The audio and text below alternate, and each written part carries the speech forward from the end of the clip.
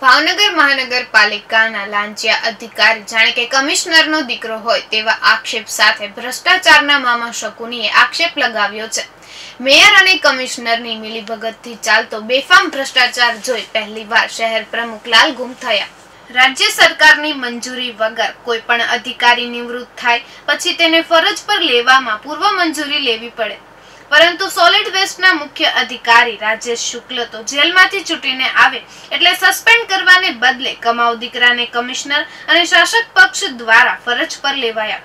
આ વિજય રૂપાણીની સરકારની વેદનાનો ઉત્તમ નમૂનો છે. ભાવનગર મહાનગરપાલિકાની ઉલટી ગંગા. ભાવનગરના સોલિડ વેસ્ટ મેનેજમેન્ટના ક્લાસ વન અધિકારી રાજેશ ગણપત શુક્લ.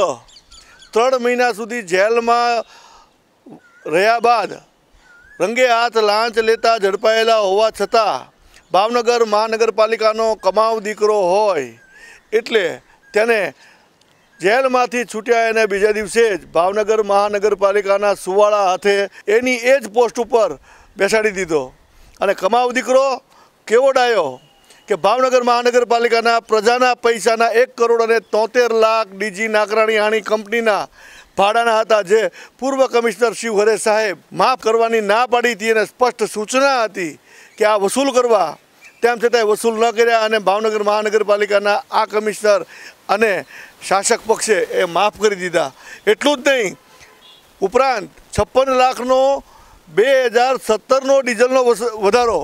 હમણાં બે હજારને વીસમાં લાવી અને એ આપવાની એક જોગવાઈ કરી રહ્યા છે.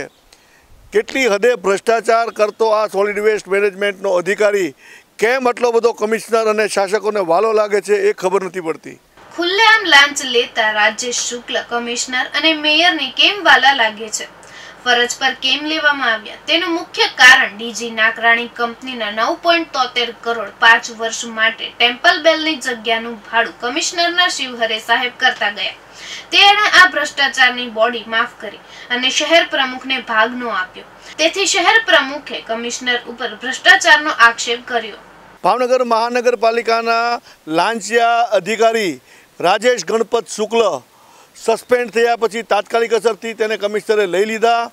ભાવનગર મહાનગરપાલિકાના કર્મચારી એસોસિએશન દ્વારા રાજ્ય સરકારમાં રજૂઆત કરવામાં આવી કે વારંવાર આવી રીતે છ છ મહિના સુધી કમાવ દીકરાને તમે રીઇસ્ટેટ કર્યા કરશો, તો બીજા જે નવા કર્મચારી છે એને પ્રમોશનનો લાભ ક્યારે મળશે?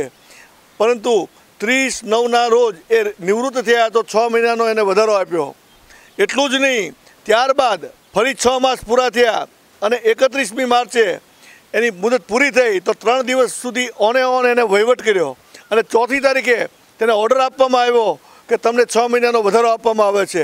આ અનુસંધાને મહાનગરપાલિકામાં એક વિવાદ સર્જાયો છે. કારણ કે આ કમાવ દીકરો ભાવનગર ભારતીય જનતા પાર્ટીના શહેર પ્રમુખને કોઈ પણ પ્રકારનો હિસ્સો આપ્યો નહીં હોય. તેથી શહેર પ્રમુખ લાલ ગુમ થયા છે અને કમિશનરને પત્ર લખ્યો છે કે તમે ભ્રષ્ટાચાર કરો છો. ભ્રષ્ટાચાર મહાનગરપાલિકામાં ક્યાં ખૂણે નથી, ક્યાંય જગ્યાએ નથી. એક દુઃખ સાથે કહેવું પડે કે બેફામ રીતે ગેરકાયદેસર બાંધકામ. આપ આપ આપ આપ સાંજે જુઓ તો ટાઉન પ્લાનિંગ અધિકારીની પ્રાઇવેટ ઓફિસે લાઈનો લાગી હોય બિલ્ડરોની, ગેરકાયદેસર બાંધકામવાળાની લાઈનો લાગી હોય છે. અને એ એક પછી એક આવતા જાય અને વહીવટ કરતા જાય છે. અને ભાવનગરના તમામ બિલ્ડરો પણ જાણે છે કે અહીંયા પૈસા વગર કામ નથી થતું. તેમ છતાંય ના છૂટકે લાચારી ભોગવીને આ મંદીના માહોલમાં કોરોનાના મહામારીમાં પણ પોતાના પ્લાન પાસ કરવા બે રોકટોક પૈસા આપવા પડે છે.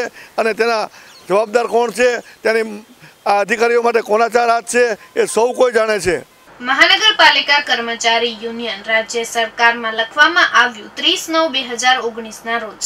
રાજેશ શુક્લ નિવૃત્ત થયા. ફરજ પર લેવાયા ત્યારબાદ એકત્રીસ ત્રણ બે હજાર વીસ માસ પૂર્ણ થયા પછી ત્રણ દિવસ પર ફરજ બજાવી. જાણે તેની મેચ ફિક્સ થઈ ગઈ હોય અને ત્રણ એપ્રિલે વધારાના છ માસનો ઓર્ડર અપાયો. કમિશનર અને શાસક પક્ષ દ્વારા ભ્રષ્ટાચારની ગંગા બેફામ રીતે વહેવામાં આવી દેવાય છે. ભાવનગર મહાનગરપાલિકા અને સંગઠન દ્વારા સૌ કોઈ જાણે છે છેલ્લા ત્રીસ વર્ષથી ભાજપનું શાસન છે.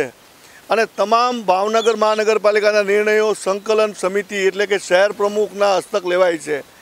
એના ભ્રષ્ટાચારથી ત્રાહિમામ થઈને પ્રદેશે ઉપર એક કમિટી બનાવી, તેમાં વળી પાછા ભાવનગરના પૂર્વ બાડાના ચેરમેન અમુભાઈ શાહને મૂક્યા.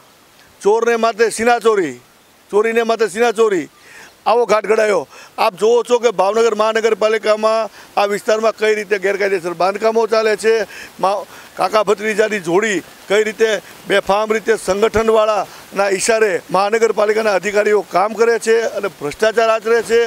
ત્યારે હવે આ એવું તે શું બન્યું? કે શહેર પ્રમુખની સાથે કમિશનરને અને મેયરને વાંધો પડ્યો અને આ વાંધો એવો પડ્યો કે કદાચ ભાગ બટાઈમાં વાંધો પડ્યો, તેને કારણે આજે ભારતીય જનતા પાર્ટીના નેતાઓ કમિશનરની સામે આક્ષેપ કરી અને ભાજપના ખુદના ધજાગરા ઉડાડે છે.